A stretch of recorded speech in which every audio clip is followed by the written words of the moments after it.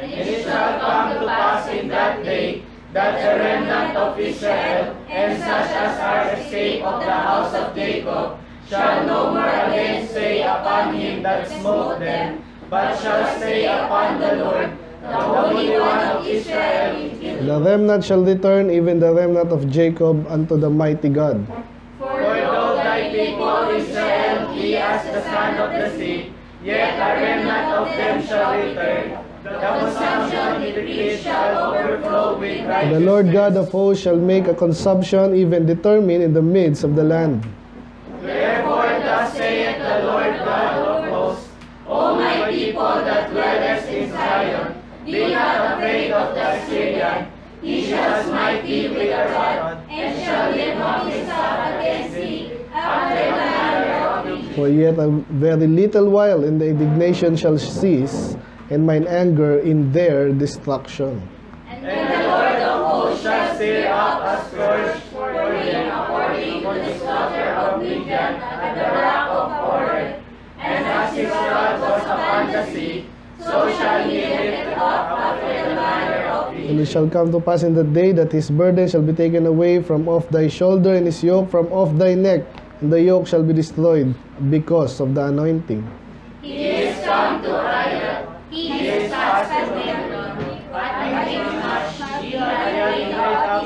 They are gone over the passage, they have taken up their lodging at Gibeah. Ramah is afraid, Gibeah of Saul is fled. Lift up thy voice, O daughter of cause it to burn and to dash, O poor Anatot. Madmena is removed, and inhabitants of Gebim gather themselves to flee. As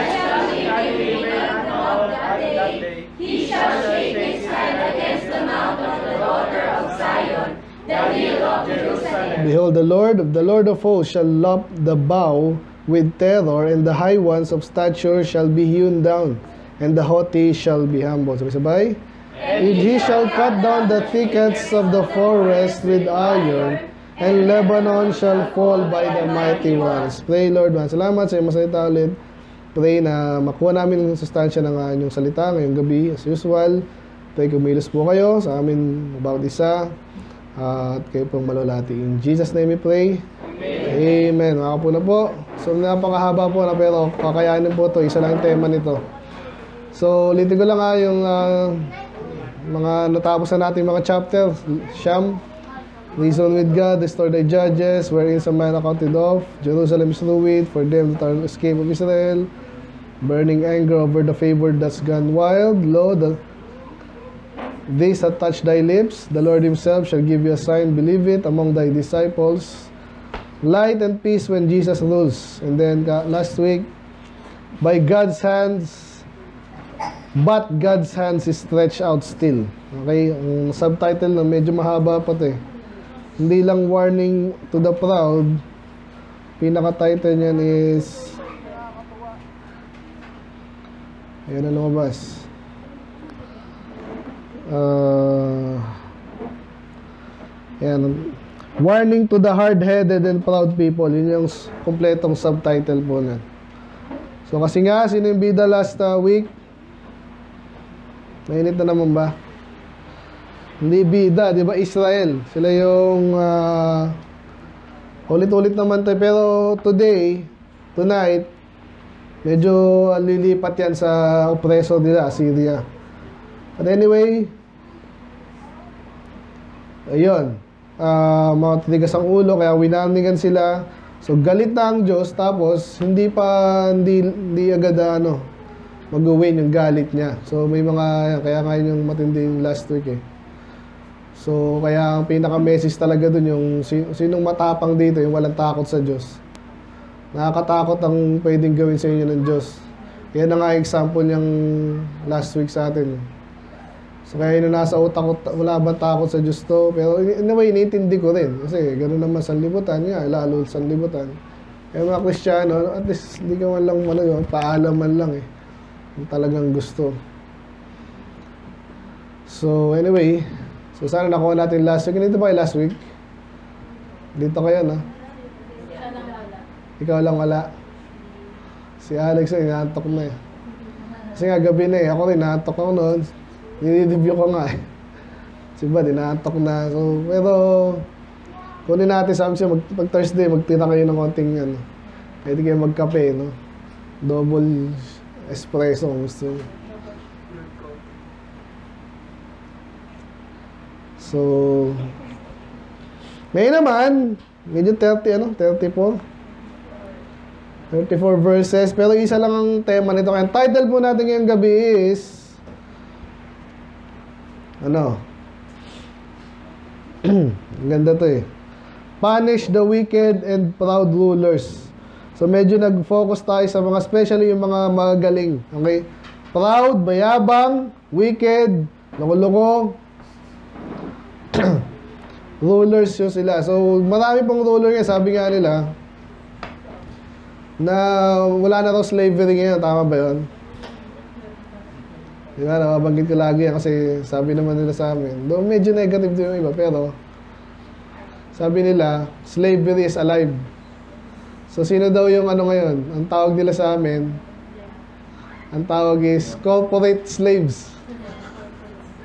Lalo pag may utang ka. Totoo din ako, ang daming utang. Kaya wala kang magagawa kung hindi bayaran pag hindi binayaran. Ang sabi naman nila, hindi, hindi naman daw kulong, pero still, hindi maganda. Okay? Yung, alam ko yung screen, tawag nilang credit scoring na yan, sineshare nila yun sa buong ano eh. Alam nyo, isa sa mga, mga ito, tatamaan natin mamaya sila mga, ang mga ruler ngayon, hindi na nga yung mga mayor eh, yung mga bangko. Lalo yung mga bangko ng bangko. Sila talaga yan eh.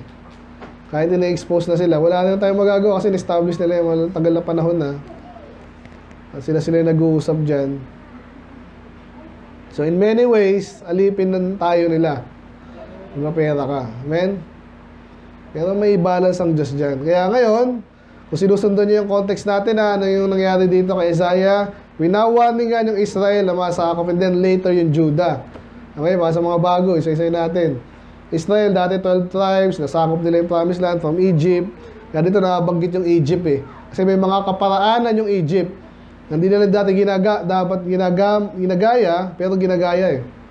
Ang sanlibutan, parang church minsan, yan, sayaw na yan. Okay? Paalala niyo sa akin Sunday yan. Matagal ko na rin gustong banatan yan. Pero medyo nadaan naman pala Sunday ba? Kay David, di ba? Medyo, di ba? Ituloy na rin natin yan, okay? Okay, Miriam. And then, so yun, so nagkahiwalay sila dahil kay Solomon, kalokohan ni Solomon, uh, nahati, yung 12 naging 10 plus 2, or pwedeng 1, 5 na kala yung Judah, kasi Benjamin, napaka-konti naman yan. Kaya naging dalawa na lang, Israel ang tawag sa taas, 10 tribes, then Judah na lang sa baba. so, uh, uh, after that, hindi na po nagsama ulit yun. Kaya ngayon, dami nating prophecy na naman dito. Kaya, tutok lang kayo ha. Wala matutulog. Ako nga eh. Nag sabihin pa. So, nung naghiwalay sila, hindi na ulit nagsama yon. But may mga pangako dito na magkasama sila. Ezekiel, ganyan. Iba na yon. Okay? Mamaya makikita natin. Ma- Christianity na yan. Actually, malinaw po yun. Ano pang gusto ko sabihin? yan. So, Uh, later, ang mauuna kasi masakop or mawala, maubos yung Israel nga, no? So, ubusan sila doon to the point na maraming mamatay sa kanila, iba i-export, iba may capture iba kakalat na lang. Wala na, wala nang identity yung Israel, Ephraim, wala na yan, mawala yung later.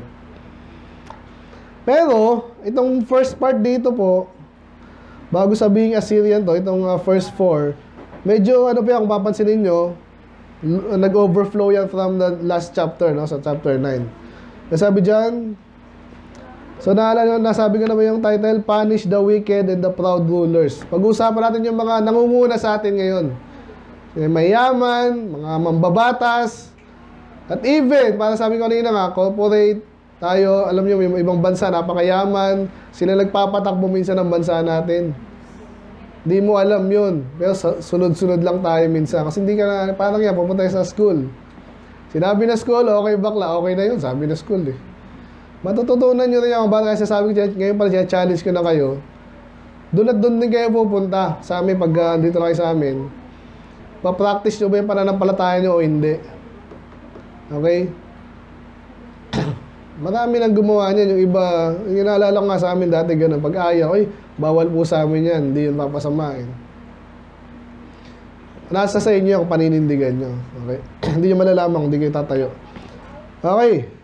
So, ano naman sinasabi ko? So, yung context, ito mga nangunguna sa lipunan, una, muna sa Israel, kasi yun ang sa chapter 9 eh. Ano daw yung parusa sa kanila? Paparusahan sila. So yun nga, yung, tapos pag pinausahan na sila, ang Diyos nakahanda pang sundan yon. Yung isang, ah, yung isang statement na ganon, ito, by, but his son is nag-extend dito. Kaya I believe, itong 1 to 4 is parang extension ng chapter 9. Okay, sisa natin. So woe unto them that decree unrighteous decrees, and that the right, na, pero parang ano, water. Hindi ako nainom ng ating gamot. Magpasensyahan nyo na po ako ha. Wala, wala. Kalimutan ko. Naisip ko yung ray Okay, sabi dyan, sino, ano yung decree? Parang batas. Pag sinabing wow, parang sinumpayan. Kaya sabi dito, yung mga mambabatas, by the way, si Bong Revilla daw ay may sakit, pag-pray nyo daw. Pray nyo na kesyo na patakbo-takbo daw, napila. Sabi ng mga comments sa ano. Sige mo, mag-pray ka namin na ibalik mo na yung plain handle mo. anyway, mga mambabatas, pasok po dito. Katulad ito, di ba? Bia? Yung mga mambabatas, ano ba ginagawa ng mambabatas? Sabi po nila, isa mga pang, ang makapangyarihan na tao sa talaga sa isang country, yung mambabatas kasi sila yung magpapasunod. Pag naipasa yung batas, kailangan natin sumunod, di ba? O yung naalala niyo yung pinatupad yung drug test. Eh napaka nonsense naman. Maganda yung drug test sana kaso anong drug test doon is pag magpapa ano ka, di ba? Magpapa-radio ka. Hindi, doesn't work that way. So, sabi nga nung kilala kong addict, ganun lang daw yun eh. Inom ka lang daw ng fresh milk sa umaga doon, pwede ka na. Hindi, ka, hindi na madedetect na addict ka. Hindi ba nila alam yon? Dapat randomized test. Ang daming kumita doon. So, yung sasabihin, pag, pina, pag pinasa nila yan, wala tayong choice kundi sumunod. So, makapangyarihan po yung mga babatas. Pero sinasabi dito ng Diyos, ito na, sa ngayon, parang wala tayong magawa. Amen? Pero ang judgment ng Diyos, walang makakalusot. Kasi, woe unto them that decree unrighteous decrees. Kaya pag pinasa na naman sa mga bakla, sa mga sogi na yan, talagang sumpahin talaga tayo ng Diyos. Sa US, nararamdaman nila yon. No iba nare-revive. Pero, sabi nila, ayaw ko nang mabuhay. Parang ganun ba tong klase to? Yung matatanda, nakita nila, medyo mais-ayos pa sila ngayon. Paano nangyari na pinapa tinatanggap to mga bakla sa atin tapos kinakasal pa? And right grievous which they have prescribed. So isabihin pupunta to kasi again ang tanong sino ba yung apektado sa mga masamang batas madalas? Tsaka may di ba pag nagtaas ng tax lahat yan tatamaan yes eh paano yung mayaman hindi masyado yan di ba ay, hindi na ako magmamakdo araw-araw. Once a week na lang. Hindi, ganun pa rin. So, mahirapan ka, pero hindi ka tulad ng mahihirap. Kaya grabe yung sumpa ng Diyos dito. Tandaan niyo, ewan kayo, baka maging, ano, si Jamie siguro ay maging, ano, never nung kakalimutan yung judgment ng Diyos sa mga ganito. To turn aside ito yung ka, ka- ano ha, bakit nila ginaga, ginagawa yon ang ang ang prospect nila ang kanilang ah, object objective to turn aside the needy from judgment. Sa Tagalog ang may kailangan nga ng judgment mo yung mga nangangailangan eh. Tapos lalo mo pang iipitin. Itong jeepney ano na naman so ako asal din ako sa mga jeep na driver actually. Lagi na sabi sa inyo hindi naman kailangan pakialaman nila yun eh So, naggumagawa na ng pera tong mga to eh. Ganun, imagine mo, ikaw jeepney ka, nagpatabos ka na nga, siyempre, hindi ka naman nakapag-aaral na.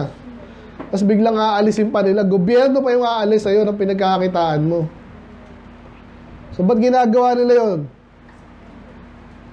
Ayan na, sinasabi dito, matagal lang ganyan yung mga yan. And to take away the right from the poor of my people, that widows, ito yung dalawang, ano, lalala nyo ating preaching sa fatherless, father to the fatherless, di ba? Yan yung dalawang klase ng ah, demography na, ano, madalas kawawang kawawa sa panahon nila. At kahit sa atin, gano'n. Kaya huwag kayong magkakaganito, ha? Yung walang tatay at saka yung mga walang asawa. Di ba?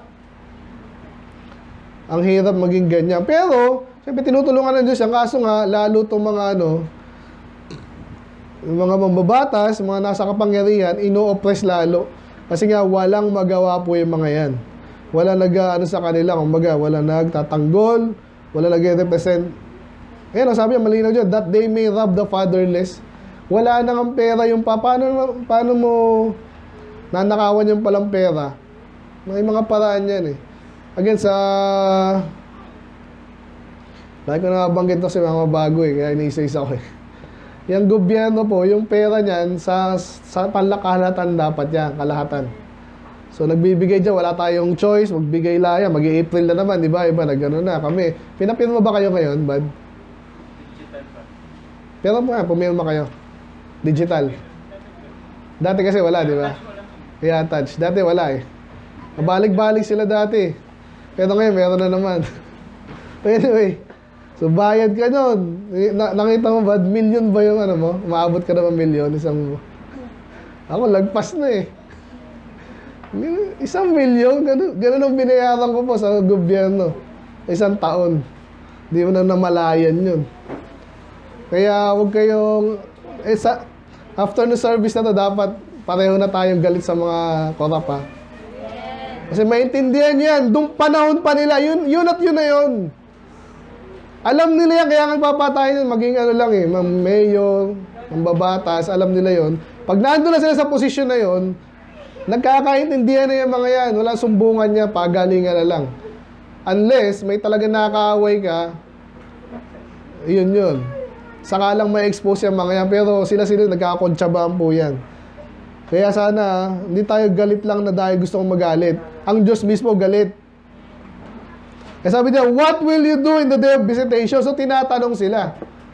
Alam mo, sasagot nila. Iba, walang pakialam din eh. Yan last week, in-interview kong preaching ko last week eh.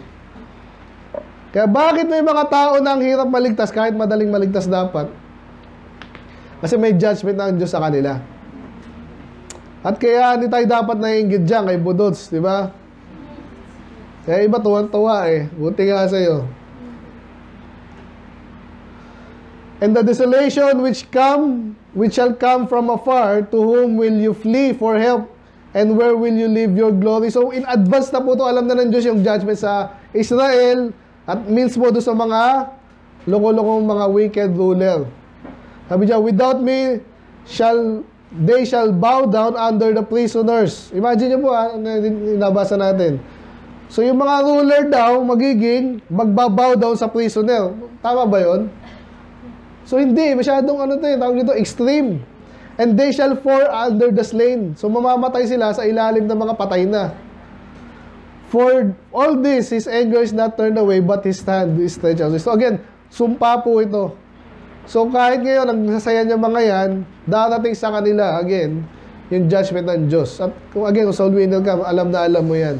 Ang daling maligtas, iiwasan pa nila. Anong gagawin nila sa impyerno? So ngayon ito, mag-shift tayo sa another people, no? So kanina Israel. So ngayon naman, tatanungin nyo, sino ba yung ginamit ng Diyos para parusahan yung Israel? So madalas po yan later Babylonia sa Judah, pero sa Israel, ang tumalo sa kanila, later talagang sinakop, inubo sila Assyria. Okay? Kaya ang tawag ng Diyos sa kanila, the rod of mine anger. So sila yung ginagamit, nasa yung pamalo ko dito? Wala. Kunwari, pinalo ko si Stephen, kanino ka galit? Doon pamalo, di ba? Depende. Pero minsan, oo, di ba? Kasi ang, ang tigas naman yan. ang tawag ng Diyos sa Assyria, pamalo niya. And the staff in their hand is mine indignation. So, ibig sabihin, ginamit lang ng Diyos ang Assyria. Tandaan yun. So maraming mangyayari sa buhay nyo, ginagamit lang ng Diyos. Kasi pag tinignan mo, kunwari, ah may ah, ano ba, may nagdakaw sa'yo. Ang dami nang pwedeng manakawan. Ako dati nawala ng cellphone, nawala ng wallet. Ba't ako pa? Ba't ako na-tsempo? Akala ko maingat na ako. Ta- Ba't anda? Hindi naman ganun karami. So, may pinapakita ng Diyos sa ito. Pag nagkasakit ka matindi, na unusual. Ano ba yun? Eh, kumakain ka ng malusog. So, gawa ng Diyos yan. Okay? At dito naman, Assyria. Ngayon, I will send him against an hypocritical nation. So, naalala niyo last last week, hypocrite, sino hypocrite nation? Israel. So, isusugo lang daw yung Assyria kasi nga pinaparusahan niya Israel. And against the people of my wrath with will I give him a charge to take the spoil and to take the prey and to tread them down like the mire of the street. Tungtungan. Talagang, ano yan, sakupin. Howbeit, he mean it not so. Ay sabihin nun, yung, yung Assyria daw, hindi naman niya gustong gawin yun eh. Hindi siya sumusunod sa Diyos. Nung ginawa niya yun, hindi siya sumusunod sa Diyos. Oh Lord, papatayin mo na Israel. Nagkakaroon ba ng linaw? Kaya ginagamit lang ng Diyos minsan yung mga ibang tao. Kunwari ikaw, ah ganun yan. Kung ano man nangyari masama sa'yo, gano'n, nakawang ka, sinunog yung bahay mo. Not necessarily sinusunod nila ang Diyos, pero minsan, kahit pag gusto ng Diyos, susundin nila, gagawin nila. Gagamitin nila sila ng Diyos. Neither that his heart think so, but it is in, his heart to destroy and cut off nations not of you. So ganito yan. Si Assyria daw, hindi naman sumusunod sa Diyos ah, literally daw, kasi nga hindi na nasa puso niya. Pero ang gusto niya actually, basta manakop lang siya. Naintindihan niyo? So kaya, mag-iingat kayo na sabi, eh, sabi ni Pastor, oh, lingkod daw ng Diyos yung Babylon. Yun naman sabi sa Bible eh. Pero not in a way na mabuting lingkod ng Diyos. Okay? Ganon din yung Assyria. Kasi may sarili siyang iniisip. Okay? May sarili siyang purposes, ginamit lang siya at that time. Sana nakuha niyo na yun. So itong mga lugar na to, di natin alam kung sino to. Okay? Basta may mga lugar daw na pa- parang pare-parehas lang pag tinignan na Assyria. Ano bang, anong klase mga tao dyan? Wala akong pakialam. Sakupin ko lang yan eh. Wala silang pakialam doon. Pare-pareho lang yan. And may hand that found the kingdoms of the idols and whose graven image did excel them of Jerusalem and of Samaria. So again ha, kung alam nyo yung kwento kay ah, Hezekiah, na yun binabastos ni ng Assyria din yun eh. No? Doon namatay yun eh. Si Sennacherib ba yan? Tsaka si yung kanyang messenger is si ano, si Rabshakeh. Yung magandang pangalan sa anak. Sino gusto na gano'n? So, namatay yung mga yan. But anyway, bi- binabastos nila yung mga Diyos nila kasi kayang-kaya ko yan. Ang dami ko na nasakop, kayo pa. Hindi niya alam, tunay na Diyos yung nasa Israel dati. But anyway, niloloko niya. Shall not I have done unto Samaria and her idols, so do so do to do, eh, so do to Jerusalem and her idols. Ibig sabihin, uh, i-relate natin sa atin ngayon. Yung katulad yan nangyari sa atin re- recently, di ba? Sabi, nakakahiya, nakakahiya talaga. Pero minsan, di ba, hindi natin iniisip yan. Eh. Walang mangyayari yan, mga tinuto mga tao dito. Huwag kang pakasiguro. Okay? Yan ang gusto sabihin dito. Dahil lagi tayo nag-iingat.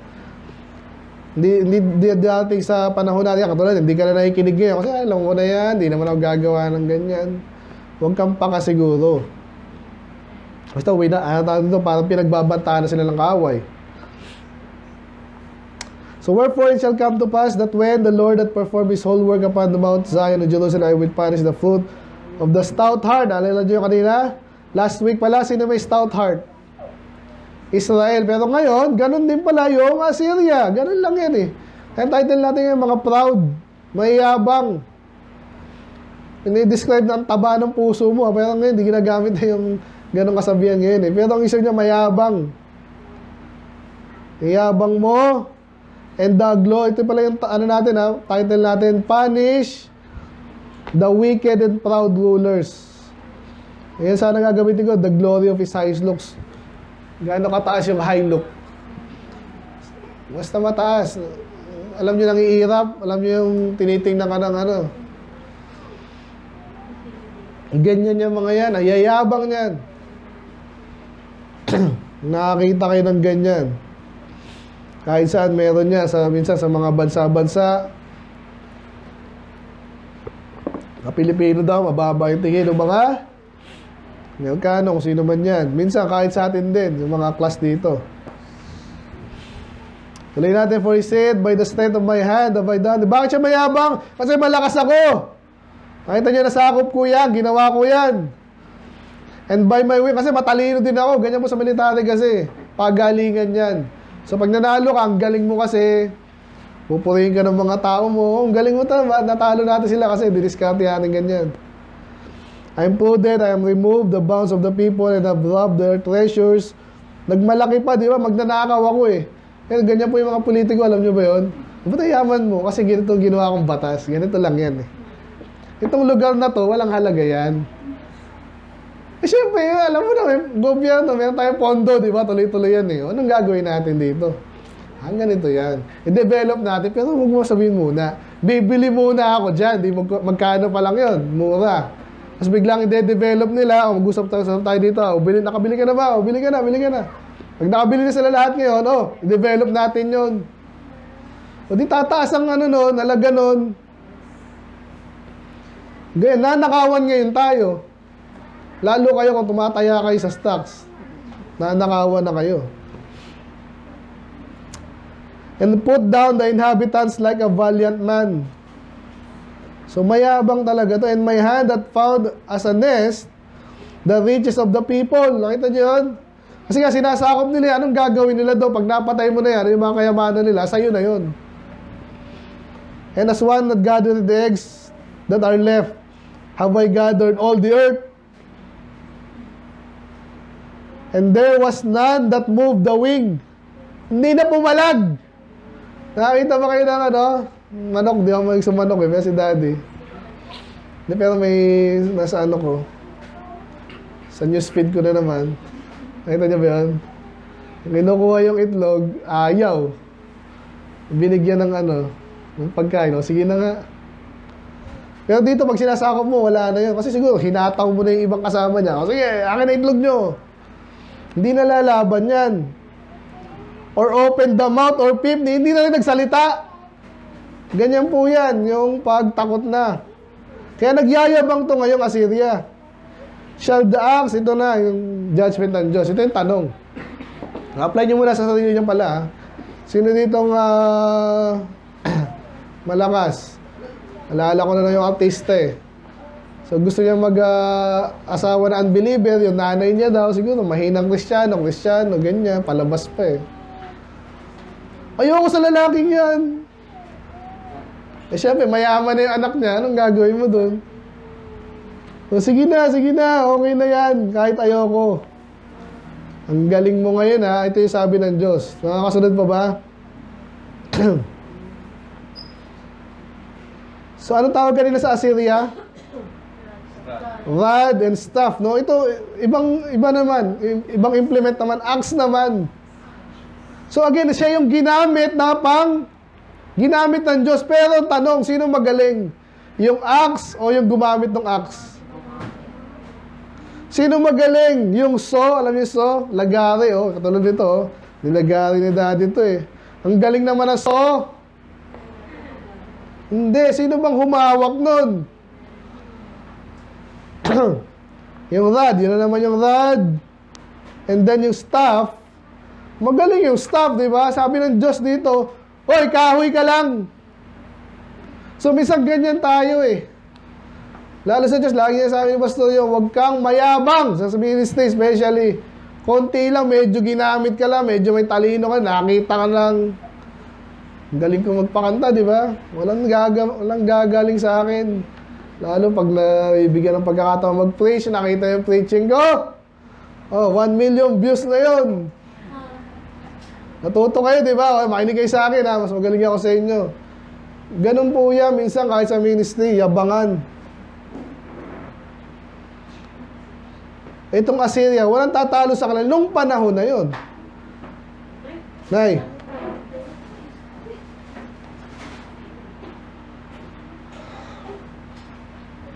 Ano nangyari sa Assyria? Alam niyo nangyari sa Assyria? Ganun din, ubos.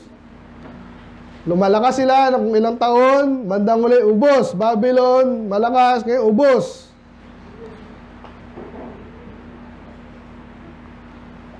Yung dating basto na magaling, ano? Ano kwento ni Basto sa amin? Yung si Gabino Tika nga. Galing daw talaga. Hindi ko pa nga napakinggan pero hindi rin ako hanga eh. Pakinggan ko ibang ano. Ang galing lang magsalita talaga. Parang Billy Graham. Pwede ko rin gayahin yun. May mga style lang pagkasalitang ganun eh. Pero ayoko na ng ganun eh. Kasi nga, parang witchcraft mo yung tao eh. Ito yung gusto ko lang salitang ganun. Eh, Normal lang ba? Normal. May konting tataas mo yung boses mo, okay. Anyway. So, huwag ka magmamalaki sa Diyos. Amen. Kaya, mga kwento ni Pastor ganun din. Ang bilis lang pala ng panahon. Hindi mo nagyabang ka ngayon, kunwari. Dahil sa pagyayabang mo, na-accomplish mo, eh kung husgahan ka rin ng Diyos, ano mangyayari dyan? Sige nga. Ni Solomon, di ba ganun yung ano, dilema ni Solomon? Eh? Pambira, yaman ko. Ang laki ng temple, ang laki, mas malaki yung bahay ko. Pati yung kerida niya, may sariling ano yung palasyo. Ang galing ko eh, mamatay din pala siya. Naisip niya rin yun. Lahat tayo mamamatay eh. Eh dahil wala nagmamalaki sa Diyos, eh, itong Assyria ngayon, kaya ito, sunod-sunod lang to, kaya mabilis lang to eh. Anong gagawin niya? The Lord of hosts send among his fat ones leanness. So, kung tinatawag yung Assyria dati, fat, ibig sabihin, oh, masagana ka ngayon ha, papadalang kita ng maganda pa nga yung leanness eh. Pero payat, ibig sabihin, papayat ka din, magkakasakit ka. Kami ha, banggitin yung sakit. No? Under his glory shall kindle a burning like the burning of a fire. Usunugin. The light of Israel. Ito, interesting to ha. Sino yung light of Israel? Sino yung ating ano, sa John? Ne, sorry. He was the true light, di ba? John 1, 9. And the Holy One for a flame. Sabihin, ang Diyos mismo susunog sa Kanya. And it shall burn and devour his thorns and his briars in one day. So again, ha, kaya malinaw po dito yung Old Testament, hindi lang tinutukoy yung nangyari nung ano. May mga reference lagi kay Jesus. Kasi even sa panahon natin ngayon, sabi mo yung, US, di na matatalo yan. Kasi yung CIA, alam nila lahat yan eh. Yung mga, yung nuclear lang nila, mabiya sinong, sinong, tat, sinong tatalo doon. But still, talo na nga sila eh. Alam mo, ikaw yung hindi mo maintindihan yung salita ng Diyos, talo ka na agad eh.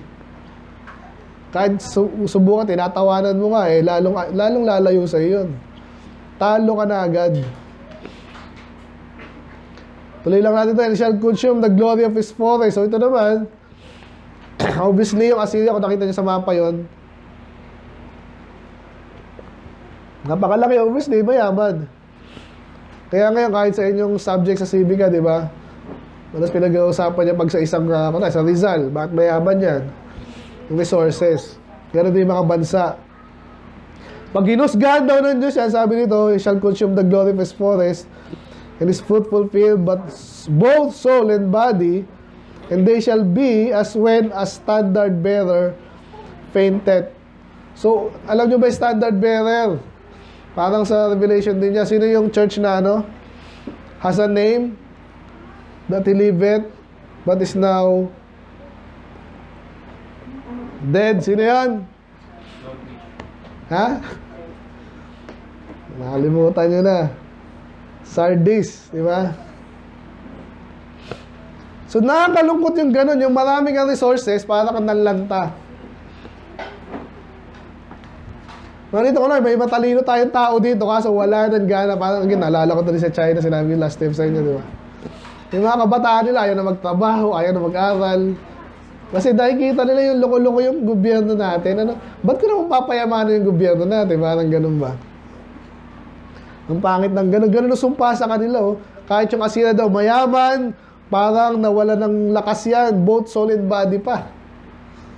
And the rest of the things of his body shall be few, that a child may write them. So, sino bang galing magsalat dito bata? Ibig sabihin lang ng konti.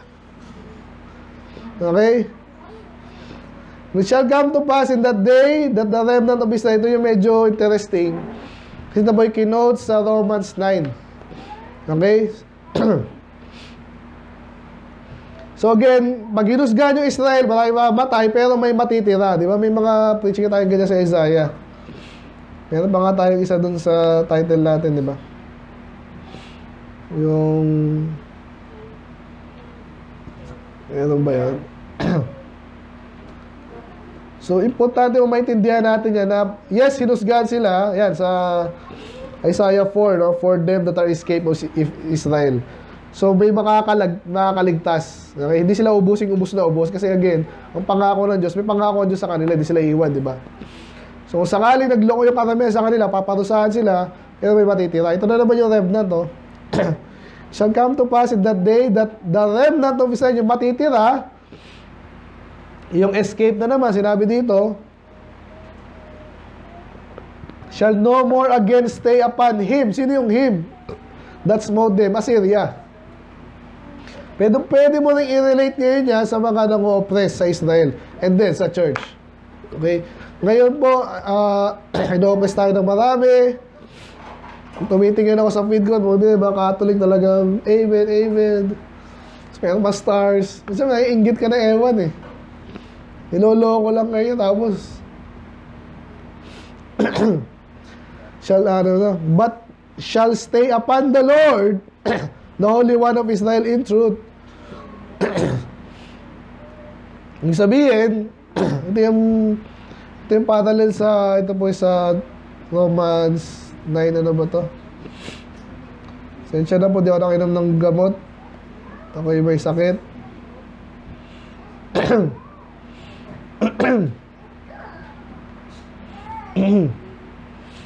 Sinabi tong remnant. 9 ano po? 27, yan.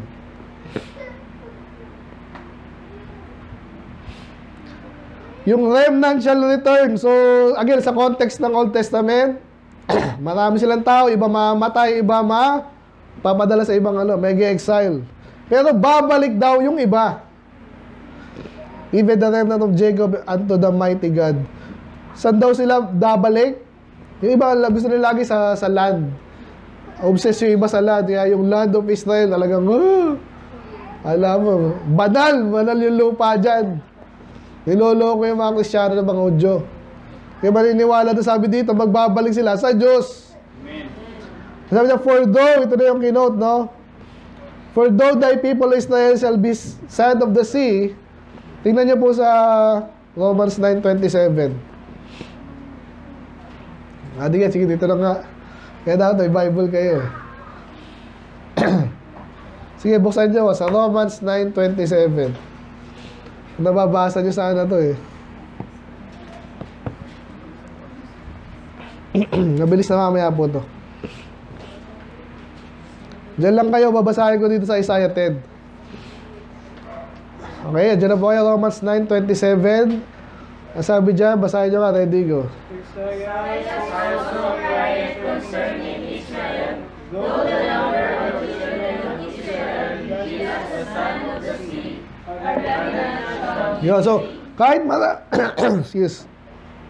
Kahit marami pa Israel, kasi nga, hinusgahan sila, imamamatay, pero, may matitira, ito daw ay maliligtas. Ito sabi sa Romans 9. Isaiah 10, ganun din, sabi dyan, no? For though thy people, Israel, be as the sand of the sea, okay, isa yan. Yet a remnant shall them, of them shall return. Kasi shall uh, return. Obviously, pag ito lang binabasa ko, parang sila sabi, babalik ulit sila, mawawala sila doon, babalik sila sa land. Pero again, ang Diyos hindi obsessed sa land. Ang pakialam ng Diyos kahit saan ka pwede ka palain ng Diyos. Walang banal na lupa. Doon minsan tinatawag natin Holy Land yun for the sake of, alam mo na, conversation. But still, sa Diyos tayo dapat pumunta. At sabi dyan, itong consumption mo to, ito yung sinasabi kanina sakit. Yan po yung sumpa, no? The consumption decreed shall overflow with righteousness. So, uh, kahit matagal na po, uh, minaprophesy na yan, isa sa mga parusa sa kanila, of course, yung mga matay, pero iba, sakit po, mga plagues. Tuloy lang natin, for the Lord of hosts shall make a consumption. Again, sakit po yan. Sabi ng iba, parang TB daw yan. Kasi, ito. Saan na ba yun? ah, sa ibang passage pa yun. Oh. Basta ang description sa consumption na yan, parang, parang kang kinukonsume kaya consumption. Eh. Parang kang nauubos. Parang ganon. For the Lord of hosts shall make a consumption even determined in the midst of the land. So, yun ang sinasabi ng Diyos. Nasusumpain sila, kakasakit, ay- either papatayin yung iba. Pero again, yung iba matitira. Kaya pag binalik kami sa Romans 9, sino ang tinutukoy dyan? Sige nga. Hindi ba mga Kristiyano na yan? Ayan ang ilinaw dyan kasi sabi dito, ang natinutukoy po dyan, yung mga talagang people of God na. At ang context dyan, hindi yung Israel lang. Ang tinutukoy dyan na is yung mga Kristiyano. Ayan, yung sabi dyan, ah, ah, sa umpisa, ito, ito, ito. Ang dami ginamit niya, si Rebecca, si, si Pharaoh. Ayan, yan, sa 8, okay?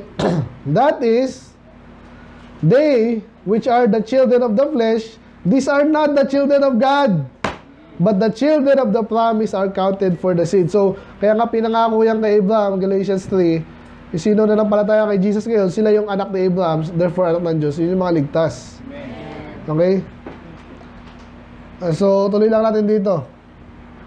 Therefore, thus saith the Lord God of hosts, O my people that dwell in Zion, be not afraid of the Assyrian. Okay, so bumabalik-balik siya. So, sumpa yung mga sa Assyria, pero again, naalala niyo yung mga sasakopin na Assyria, papatay. Pero sabi niyo dito, huwag kayong mag-alala. He shall smite thee with the rod and shall lift up his staff against thee after the manner of Egypt. Yes, kayo paparusahan, pero for yet a very little while, saglit lang yan. Kaya nga po pinag-aaralan ko minsan din yung mga bansa-bansa. Di ba nasakop na to dati? Parang nasabing sila pa rin ba yun? In a way, oo. In a way, hindi na. Nabago na sila. Pero iba kasi nananatili doon. Di ba inuubos yan eh. Yung mga nananakop, di naman nila ubusin niya kasi alam nila, kailangan nila ng slaves. So natin, ganun po yung nangyari kay, kay Israel.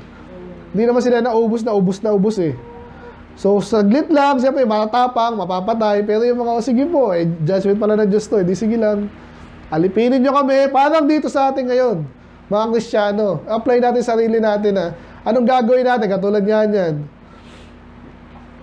Ayokong magsayaw. O sige, zero ka. Di sige, zero. diba? At least nanindigan ka. Sino, anong karapatan mong zeroin ako? Binigyan sila ng Diyos sa ngayon ng ganong kapangyarihan. Sige lang, gawin nila yung ano. Dapat minsan nagpapasakop ka rin. Hayaan mo lang. Kasi sabi ng Diyos, katulad ng Assyria, saglit lang yan. And the indignation, indignation shall cease. So may hinto rin yan. May anger in their destruction. So sila naman, dahil sinakop nila kayo, ang Diyos naman, magalit naman sa kanila naman. Nakita niyo yun, lilipat yan eh. Later sila yung uubusin ng Diyos. Nandiyan pa ba kayo? And the Lord of hosts shall stir up a scourge for him according to the slaughter of Midian. And the rock of Oreb and his rod was upon the sea. So shall he lift it after the manner of Egypt. So ganun lang, ibig sabihin, ganyan naman yan eh. Ah, kasakupin mo to, later ka naman sasakupin. Ito na. It shall come to pass in that day that his burden, ano yung burden? Kasi pag nasakop ka, ikaw yung nagdadala ng kanilang burden, ikaw yung nahihirapan, di ba? Ikaw yung alipin. Sabi dyan, naalisin yon sa inyong balikat. Ibig sabihin, makakalaya rin kayo. Yung yoke ay nagpapahirap sa atin, later yon ay madidestroy. Ito na yung mga lugar lang po to sa Israel, okay? Nahirapan kayo kanina, okay lang yan kasi nga, hindi na tayo familiar dyan. Kasi mga Ayat, Migron, Mikmash, Giba, Rema, Gibya, ah, Galim, Anatot, yun ang pang- paborito ko, Anatot. Leish, di ba? Ibig sabihin yan, papalaya niya. So, the inhabitants of Gebim gathered themselves to flee.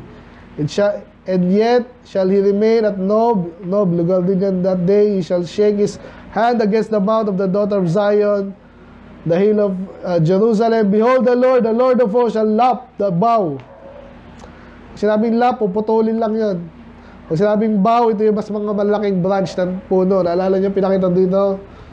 So, iba branches lahat yan eh. Pero yung mga medyo malaki doon, yung mga pinagsimulan, yan yung bow.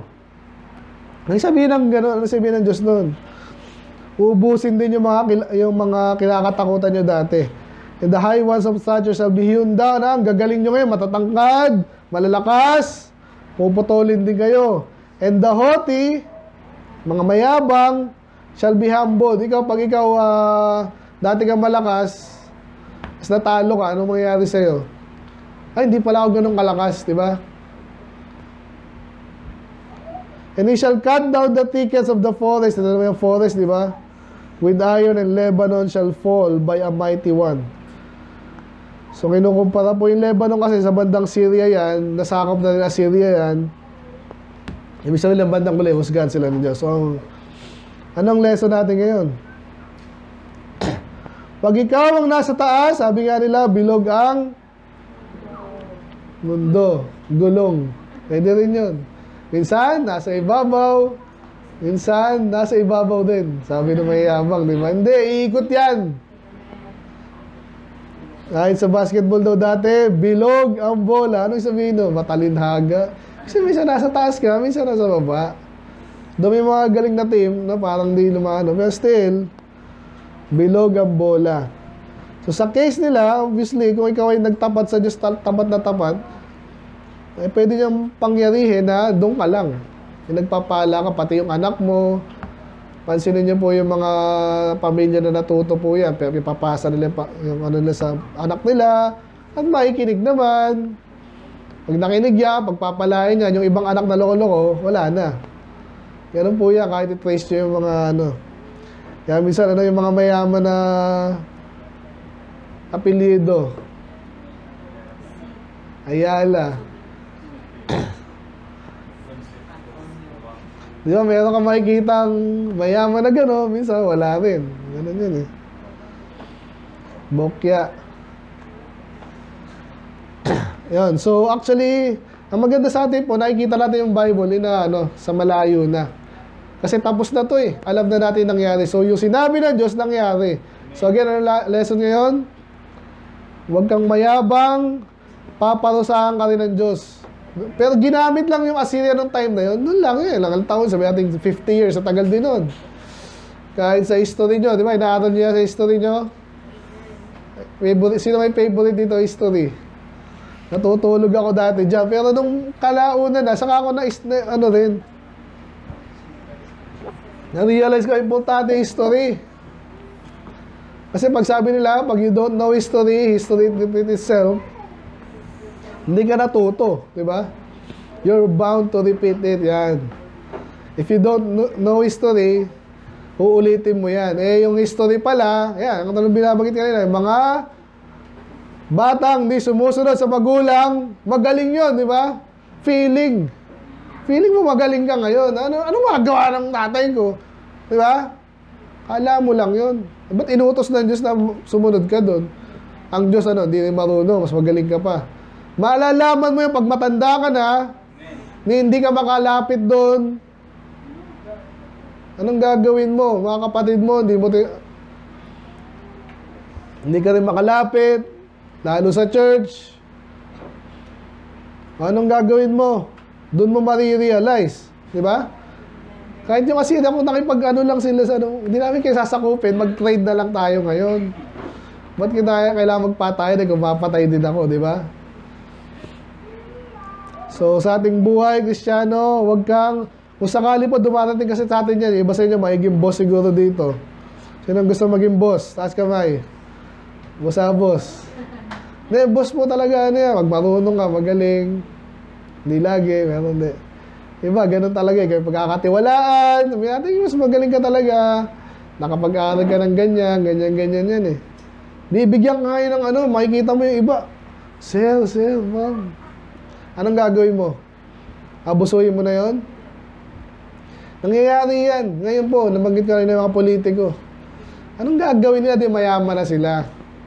Sila yung may control sa batas ngayon. Anong ipapatupad nila? Ngayon daw, gusto na mag-chacha daw ng mga Pilipino. Ewan ko, totoo yun. Nagkukuntsabahan lang yung mga yan eh. Ewan ko eh, manipulate na ba nila yan eh. Anong gagawin mo? Ito kahit sa church, ikaw lang yung marunong ngayon, inalalayan ka dati. Anong gagawin mo sa mga baguhan? Ha? Eh, mukhang di marunong eh. Diba? Ikaw, ganun ka rin dati eh. Anong gagawin mo? Nakagraduate ka na, yan sa church na, yun malungkot eh, sa pasto, pag ano. Nakagraduate na, pinag-pray mo, bandang huli, feeling nila sila lang gumawa nun. Eh, ikaw, pray, pray. Parang kanina, Assyria, medyo binilisan ko lang eh. Ang yabang po ng Assyria dito eh. Parang last week naman din, mga Israel naman, yabang eh. Ha, pinarusahan mo ako ha, ano yung sa last week? Inalis mo yung aking bricks, gagawa ako ng mas matindi dyan. Yun stones. Isa sa church, ganun eh. Nakakalungkot pero isa lang alam kong prinsipyo, prinsipyo ng Diyos, hindi yan nagkakamali. Hindi yan pwedeng magyabang sa Diyos. Kung nakapansin nyo, sana nakapansin nyo, lalo yung matagal na, kung ano ano yung sakripisyo sa inyo, para sa inyo. Lalo sa halala, talagang ibang level dun eh. Kung pinag... Ah, sana mas marami pang mas mabait sa inyo doon. Amen? Matatalino. Tatapat sa Diyos. Di, di sayang yung ating ano doon. Ngayon, may mga bago na naman tayo dito. Anong gagawin natin? Alalayan nyo lang. Mag-pray nyo, huwag nyo yabangan. Ganun talaga. Mukha na may yabangan sa Bible quiz eh. Nag-Bible quiz ba kayo? Saya yun. Basta baka matuwa kayo eh. Tingnan nyo muna kung ano, gaano kasaya yun. Ha? Huwag muna kayo sumali. Manood lang muna kayo. Masaya yun. Ha? Try, try nyo. Kasi sasabihin naman sa inyo kasi kung ano yung re-reviewin. eh. Anong title natin? Punish the wicked and the proud rulers. Yan na dapat sa kanila. Kaya sabi kay Bugots eh. Tawa lang ako ng tawa sa mga binabasa ko. Na iba may pagkabastos din. Pero sabi, eh sabi kasi ng headline is ano eh. Yung- ano pangalan nun? Bong Revilla is in hospital, please pray for him daw. Hindi sabi ng mga loko-lokong ano, I'm praying that kunin ka na ni Lord, mga ganun ba?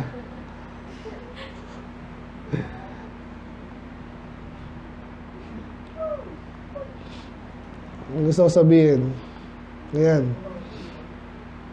By the way, isa sa mga gusto kong sermon din, ang bidang-bida ngayon, si Vice Pangit, no? Ah, kasukan na eh. Puro siya na lang eh. Huhusgahan din ng Diyos yan. ABS-CBN, hindi pa natuluyan eh, no? Magkakaibigan din kasi itong mga to eh. Ha?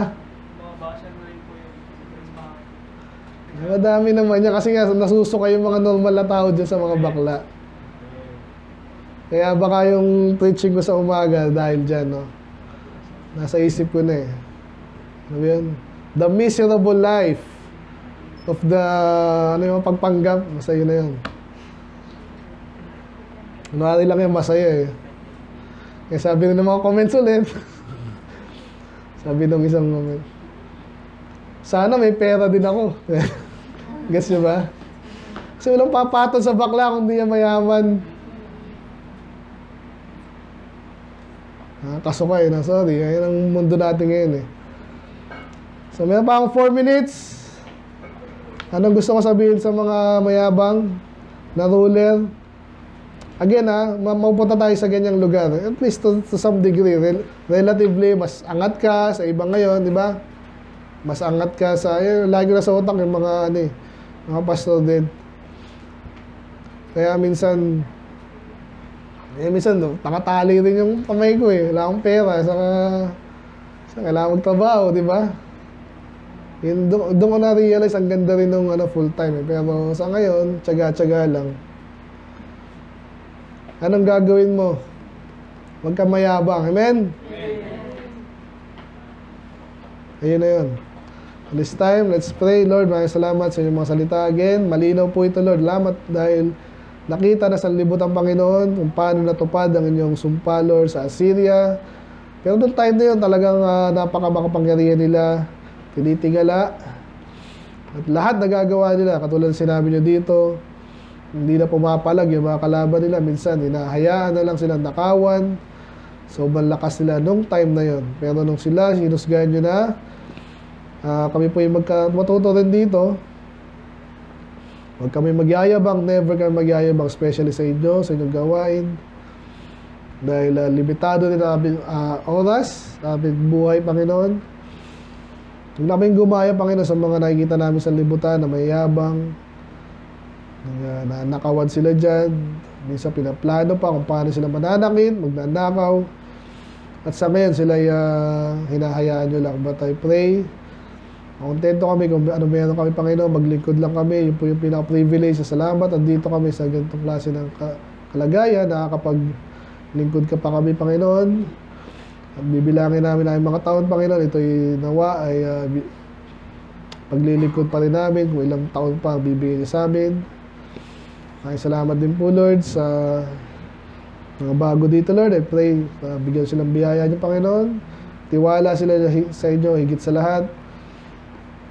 Mahanapin nila, alamin nila yung kalooban, Panginoon. At manatili dito, Lord, maging masaya, mag, uh, delight nila ang inyong sarili sa kanila, sa inyo, Panginoon. So, I pray, tuloy-tuloy ang bawat isa. At napakarami pang gagawin, Panginoon, na huwag niyo rin kaming hayaan, panghinaan, Uh, especially sa mga matagal na Panginoon, nandun pa rin ang aming mata, Lord, nakatuod sa inyo. Sa prize, Panginoon, sa inyong rewards. Ay, salamat po, Lord, sa ginagamit niyo kami. Sa mga nakarang taon pa, Lord, ang aming anniversary, Panginoon, na ito yung maging blessing. Bawat isa sa amin, sa inyong lingkod, sa pamilya. Kay Pastor dito rin po, makita niyo, Lord, na ginagawa namin dito kapatuloy. At uh, talagang biblical stand ano yung gusto nyo, Lord, ginagawa dito, Lord. So, again, pagpalaan yung bawat isa, yung mga ginagawa kahit sa halala, Panginoon. Lalanin niyo, Lord, ang mga pangailangan, Panginoon. Natulungan yung bawat isa, again, mga naghanap buhay, nag-aaral. Daddy, Lord, doon, ingatan niyo po, Lord. Iwas niyo po, Lord, kami sa mga sakuna, ano man yan, manakawan, mga loko, mga, niya, mga anak namin, Panginoon, please, preserve niyo po yung mga anak namin, maging matalino sila, gagawin nila sa buhay nila, Panginoon uh, unahin ka nila. Uh, doon sila maging masaya, Panginoon, sa mga plano nyo. Gawain nyo, Panginoon. Ilangan po, Lord, again.